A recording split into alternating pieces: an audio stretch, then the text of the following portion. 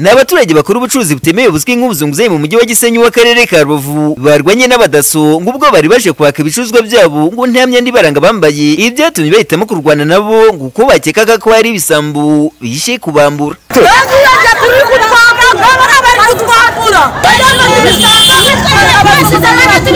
Numvishe ngo ko hari umuntu waje afata umuzunguzayi.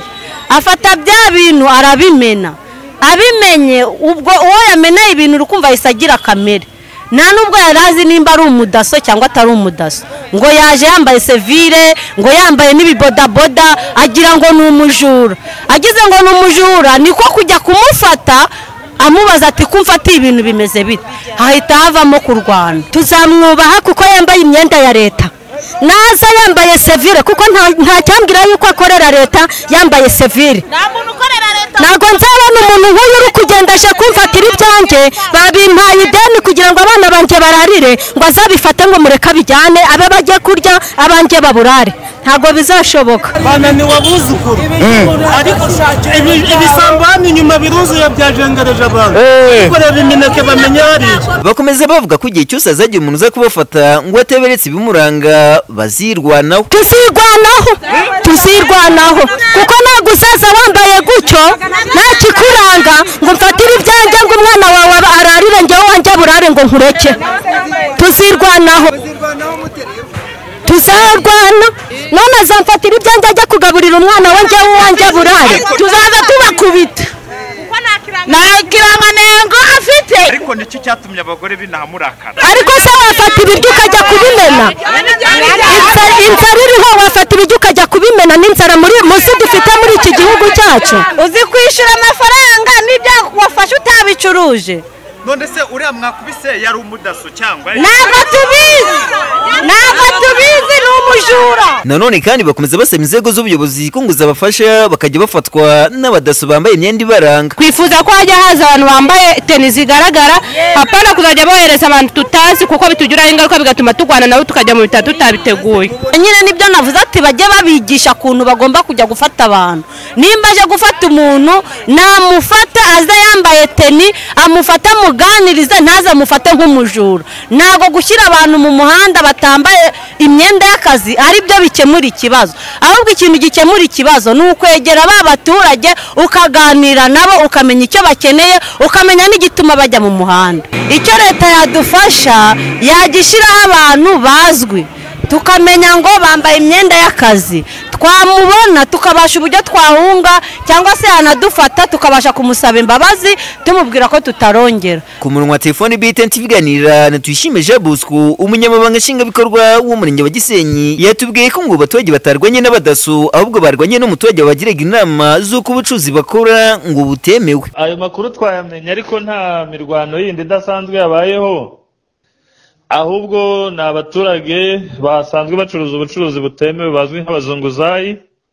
Icyo twe twakoze ni ukubabwira ko ibyo bintu bihagarara ahubwo bakajya mu isoko twabageneye. Icya mbere ni abaturage bacu dukunda twifuza ko batera imbere ariko bagatera imbere bakora ubucuruzi bwemewe.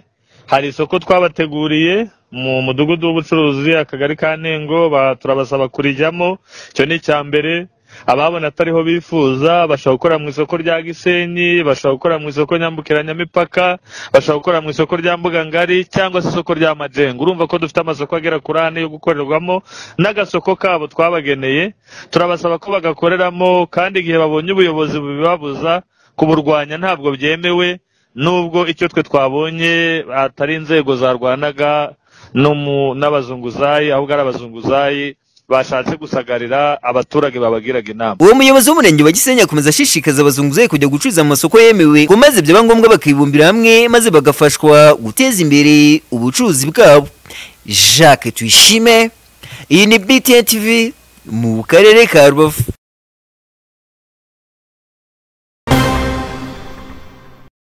Mu gikorwa cya siporo rusange isanzwe imenyerewe natangiwemo ubutumwa bwo guhora hazirikanwa kurwanya indwara ya malariya mu gihe u rwanda n'isi muri rusange bitegura kwizihiza umunsi mpuzamahanga wahariwe kurwanya malariya uzaba ku ya makumyabiri na gatanu mata uyu mwaka. Bamwe mu bitabiriye siporo rusange bagaragaza ko hari itandukaniro ndetse no kwiyumva neza bafite ubuzima bwiza ibafasha kurwanya indwara.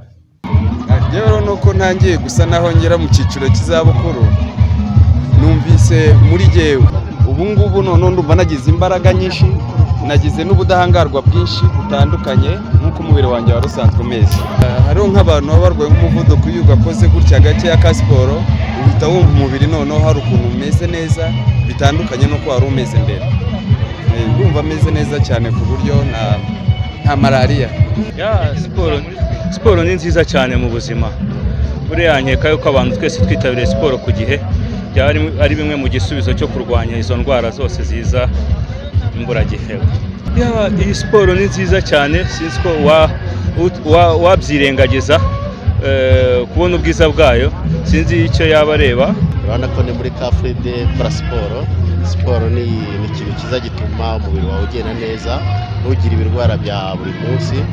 Iyo ukora siporo ugira ubuzima bwiza. Eh, umurwayi ikintu gishobora kumufasha ni uko akora siporo na ya malariya imugezeho isanga ubuzima bwe bufite ubuzima butazira umuze.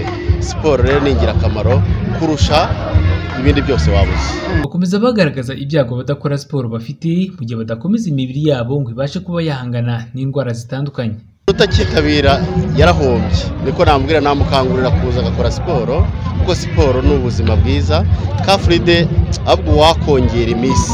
Bishobotse nuko ari ari ibibazo by'ibihe ariko ubundi buri wikendi bayigiye ibaho byaba byiza. Nagenera abantu batabashije kugera hano nababwira ngo bari mu gihombo gikabije cyane. Bari mu gihombo gikabije ubu icyo tugiye gukora ni ukugenda tu- tumubwiriza abasigaye mu rugo abadafite ubushake bwo kuba ba- bakwitabira iyi siporo. Tubibashishikarize babashe kujya baza bifatanye n'abandi kuko eh, muri iyi siporo harimo byose. Ugaragaweho ibimenyetso bya malariya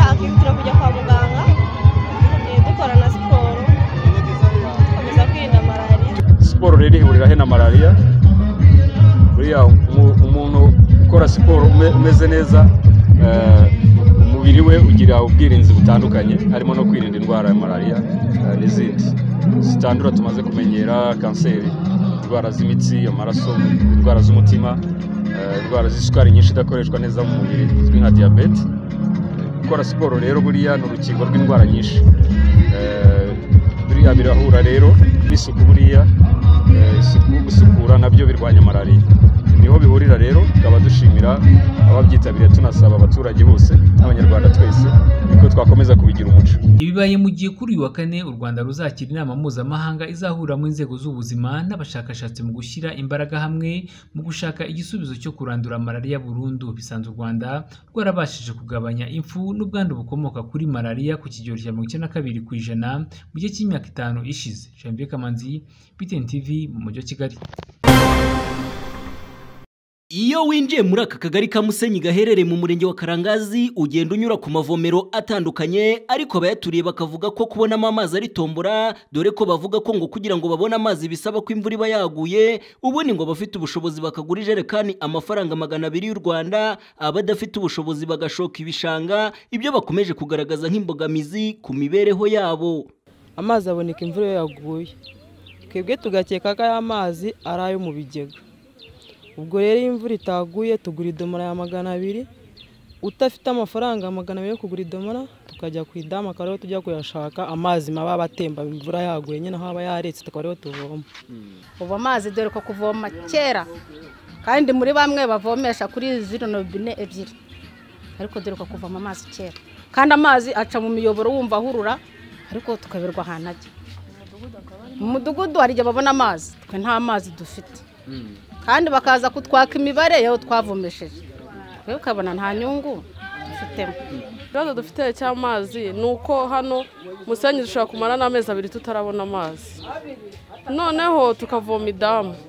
Twakena nk'amazi yo kunywa nko ku mugoroba utabonye ibiceri byo kuyagura uyagura nka magana abiri cyangwa magana atatu no kutayabona. Tubona amazi ari uko imvura yaguye. Iyo imvura itaguye n'amazi tuba dufite.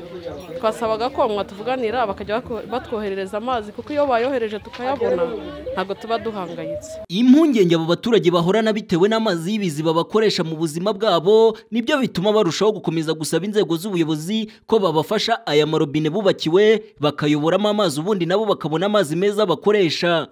Epfo iriya hari ahantu amazi arimo atemba turagenda tukadaho ibiroha byaho birahari bitemba. Kuko twese ntabwo dufite ubushobozi bwo kuvoma idomora magana abiri. Rero ngewe ndumva icyakorwa ari uko batwegereza amazi tukareka kujya tubona amazi ari uko imvura yaguye. Icyifuzo dufite ni uko bajya bayarekura tukayabona kuko amarobine yarahari.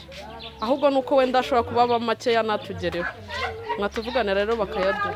Ntibyadukuniye ko tuvugisha inzego zishinzwe gukwirakwiza amazi mu baturage gusa ubuyobozi bw'aka karere ka nyagatare butangaza ko bukora ibishoboka byose kugira ngo umuturage wese abashe kuba yagerwaho n'amazi meza nk'uko bisobanurwa n'umuyobozi w'aka karere wungirije ushinzwe imibereho myiza y'abaturage murekatete juliette n'ubundi akarere kacu nk'uko muzi ko ari akarere kanini kanatuwe cyane hari ibice bimwe na bimwe bitageragamo amazi ariko ku bufatanye n'abafatanyabikorwa ah, ndetse n'inzego nkuru z'igihugu cyacu ah, ndetse tukagira n'imishinga minini igiye kuzatanga amazi mu karere kacu ikaba yanasagurira mu tundi turere.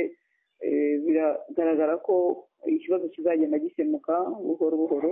Ikibazo cy'amavomo yegerezwa abaturage ariko bagakomeza gutaka ko nta mazi agaragaramo usanga kikigaragara mu bice bitandukanye akaba ariyo mpamvu bamwe usanga bavuga ko aya mazi usanga hari ubwo yikubirwa n'ibice bimwe na bimwe ariko nanone bagasaba inzego zishinzwe kuyakwirakwiza kuba bayasaranganya buri muturage wese akabasha kuba yabona amazi meza akoresha. Umuyange Jean Baptiste BTN TV mu karere ka Nyagatare.